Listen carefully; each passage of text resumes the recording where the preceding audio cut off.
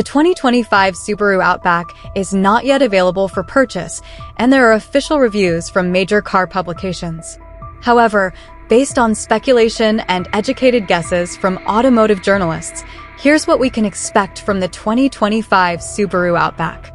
Exterior Asterisk the exterior is expected to receive a redesign with a bolder grille, sharper headlights, and a more modern overall look. Asterisk it will likely retain its wagon body style, which differentiates it from most other SUVs in its class.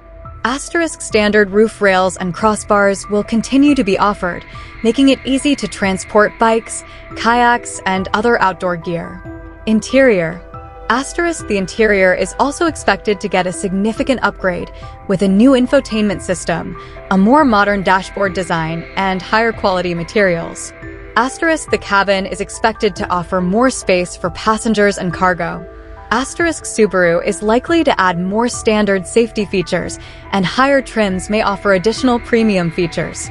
Performance Asterisk the engine is expected to remain the same 2.5-liter four-cylinder engine, but it may be tuned to produce slightly more power.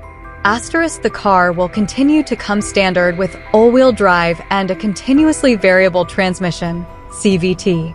Asterisk fuel economy is expected to be similar to the current model, which gets up to 26 miles per gallon in the city and 33 miles per gallon on the highway.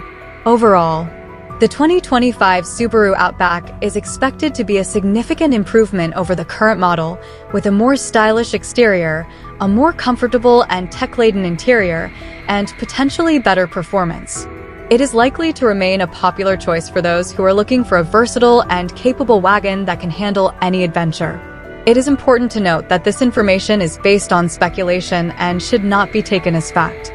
The official details about the 2025 Subaru Outback will be released closer to its launch date, which is expected to be sometime in late 2024.